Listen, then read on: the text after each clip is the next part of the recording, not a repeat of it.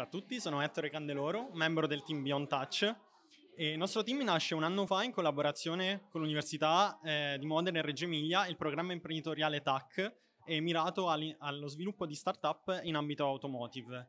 E noi nasciamo con un obiettivo, l'obiettivo nostro è quello di proteggere i guidatori dalla guida in stato di ebbrezza e prevenire incidenti stradali. Purtroppo ogni anno circa il 25% degli, stri- degli incidenti mortali stradali sono dovuti all'alcol.